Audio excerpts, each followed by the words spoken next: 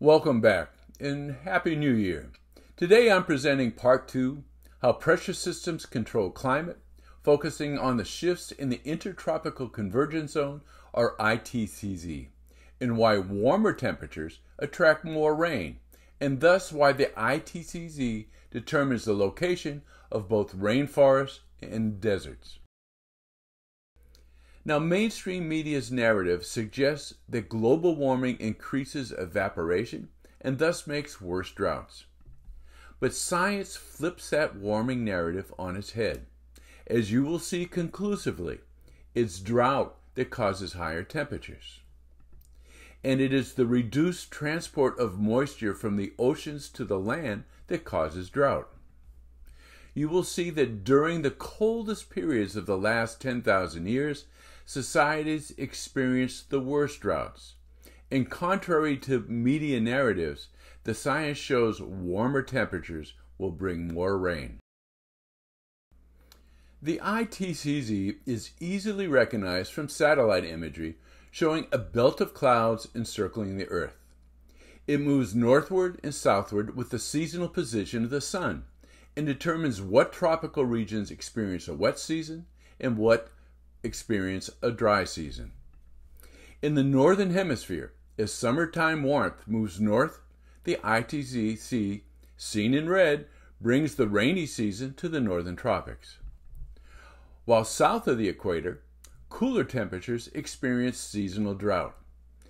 In the southern hemisphere's summer, the ITCZ then moves southward, as seen in orange, while regions north of the equator experience seasonal drought.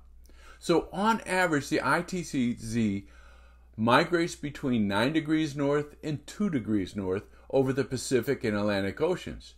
But it migrates much further north and south over Asia and Africa because land masses heat up much faster than the ocean.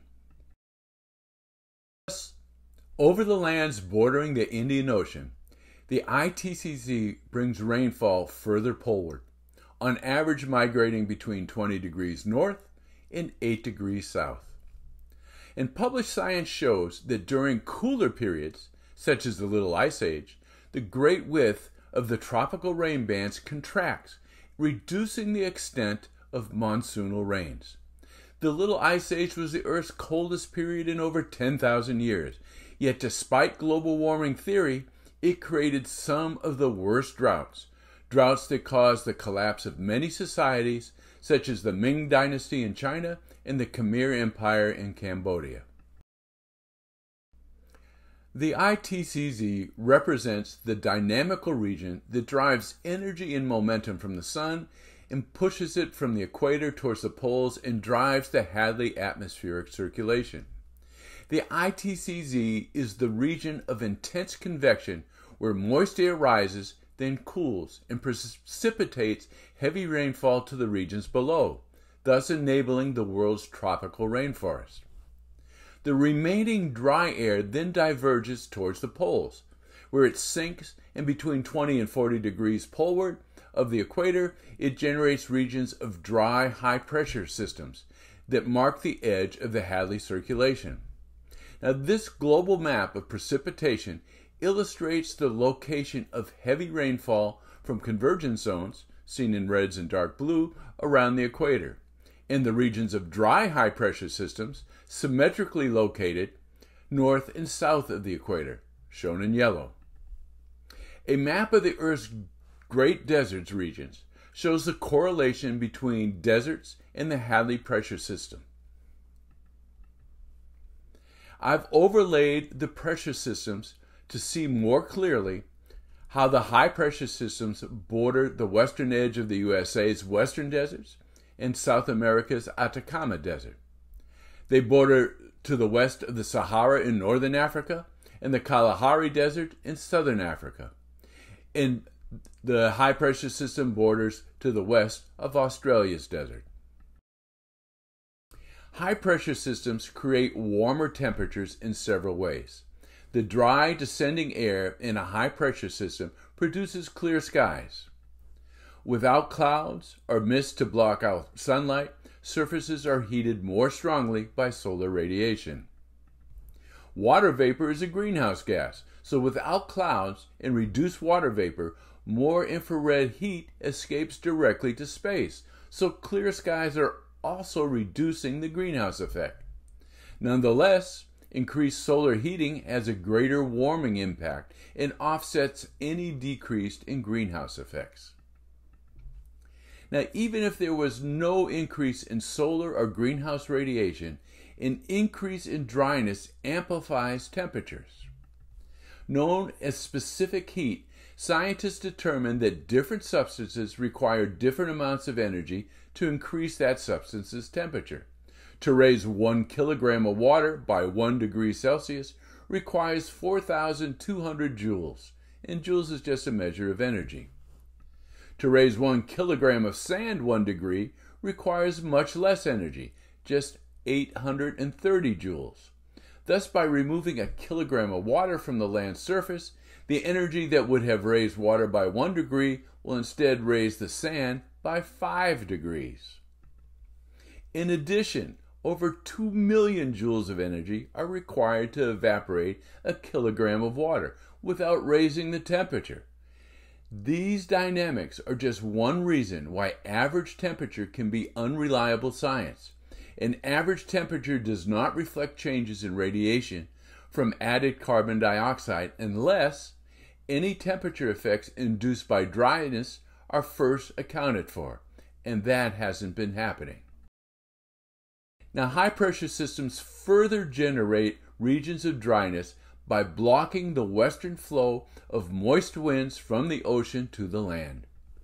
High pressure systems cause the winds in the northern hemisphere to circulate in a clockwise manner, thus deflecting moist winds from the west northwards. For example, the Pacific high pressure system strengthens each summer because descending winds more readily descend over a cooler ocean in rel- that's relative to the warmer land. By deflecting the moisture northward, the strengthened summer high causes California to be dry from June through October, while simultaneously bringing summer rains to drench the coast from Oregon to Alaska. Because this dryness amplifies temperatures, Death Valley in southeastern California still holds the record for the hottest observed air temperature, reaching 134 degrees Fahrenheit on July 10, 1913, long before any significant rise in carbon dioxide. The world's Mediterranean climates, shown here in red, are symmetrically located around the equator, centered between 30 and 40 degrees north and south of the equator. All Mediterranean climates are characterized by hot, dry summers and cool, wet winters, the opposite of the tropical seasons. This is because as the ITCZ moves northward each summer, so do the high pressure systems of the Hadley circulation. Cooler ocean surfaces relative to warmer land intensifies the highs, which then block the flow of moisture from the oceans to the land. This is why the naturally dry summers in California, in Greece, in all Mediterranean climates are highly susceptible to wildfire. As the ITC moves southward during the winter, so do the high pressure systems. And as the highs weaken, it now allows ocean moisture to bring winter rains to the land. What might seem peculiar is that the Mediterranean climates are restricted to a relatively narrow band along the coast. The reason Mediterranean climates don't expand further inland is because the warmer land temperature of the summer create a low pressure system that draws in monsoonal rains from elsewhere. The North American monsoons draw moisture from the Gulf of California and the Gulf of Mexico. And as seen by the weather data from Albuquerque, New Mexico, the greatest precipitation is brought inland during the hottest months of July through September. Like the ITC transport of rains, summer monsoons illustrate how higher temperatures bring more moisture, not drought. So, up next will be part three how the sun controls the ITCZ. And until then, embrace renowned scientist Thomas Huxley's advice that skepticism is the highest of duties and blind faith the one unpardonable sin. And if you're appreciating the science clearly presented here, science rarely presented by mainstream media, then please give it a like, share it, or copy the URL and send it to friends via email. Subscribe to my channel so you can see all parts of this uh, educational series, or read my book, Landscapes and Cycles An Environmentalist Journey to Climate Skepticism. Thank you.